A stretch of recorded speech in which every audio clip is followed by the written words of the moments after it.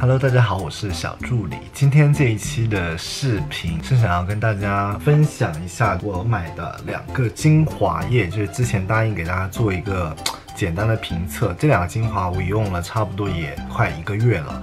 然后这个是雅诗兰黛新出的高能小棕瓶，然后这个是兰蔻的第二代小黑瓶。我先来给大家说一下价格，雅诗兰黛的这一瓶的话呢，它是六百九十块钱，只有二十毫升，平均每一毫升的话是三十四块五。兰蔻的这一瓶的话呢，它是七十七百六十块钱，但是它有三十毫升，平均每毫升二十五块三，给大。家对比一下它之前的老款和新款，这一瓶就是大家用的最多的经典小棕瓶吧。这个就是呃高能小棕瓶，它的包装是有这样的一个区别，这个是滴管的，然后这个其实是按压泵的，质地也不一样。经典小棕瓶的质地，它是比较半透明的，然后流动性很强的。呃，这个是高能小棕瓶的质地，它这种乳液状的其实是完全。不同的两个东西，这两个的话呢是兰蔻家的，其实长得是一模一样的。这个带玫瑰花的呢，它是老款的，然后不带玫瑰花的这个是新款的。这个是老款小黑瓶的质地，这个是新款小黑瓶的质地，没有任何区别。我个人感觉是没有任何区别的。再来说一下这两款精华的。官方的一个介绍，雅诗兰黛的这个高能小棕瓶的话，它的里面是号称说比老款的这个呃多十五倍的玻尿酸，这个的保湿力可能会比老款这款保湿力会更好，而且有添加一个是说叫什么巴拉巴拉什么 SOS 急救的一个呃。独家科技吧，反正就是它号称可以一个小时去修复你皮肤的一些过敏啊、泛红啊、脆弱啊、敏感啊之类的这些这种功效。总结起来就是一个，呃，比较偏浓缩型的一个精华液。兰蔻的这一款，它的官方介绍是比老款多添加了七种益生元。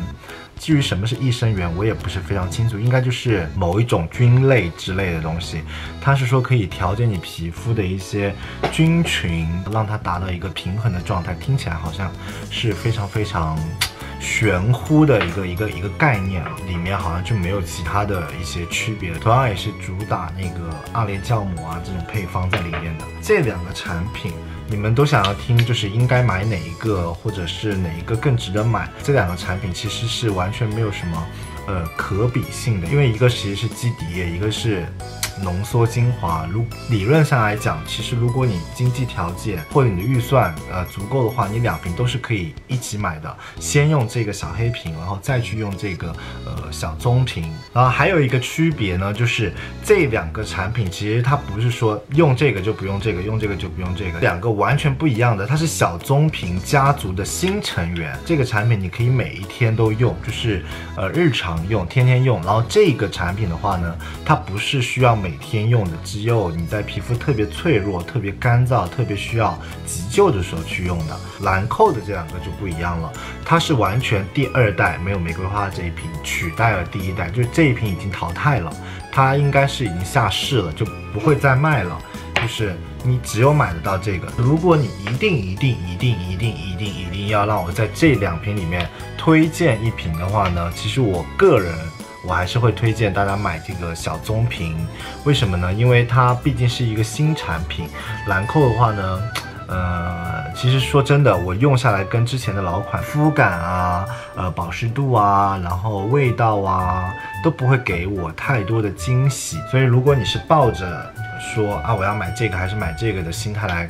看这一期视频的话呢，呃，我想跟你说句对不起，就这两个可能你都想买，给大家看看狗子吧，他们在睡觉。妹妹，小猪和佩奇，这一只是佩奇，里面那个是小猪，然后这个是他们的妈妈。哦，这里还有一只，大脑袋是谁啊？这是他们的爸爸，弟弟，弟弟，Never 呢？Never 应该在楼上。Never 是一个，Never 是一个很孤僻的女孩，她就是非常非常的骄傲、自大又可怜，然后怎么说呢，又没有朋友，感觉跟我有点像。那我们今天的视频就到这边。现在是北京时间三点四十三，但是我一点困意都没有，不知道可以干嘛。我要不今天就不睡觉了吧？我今天决定了不睡觉了，决战到天亮，这样就生物钟会比较容易调过来。拜拜。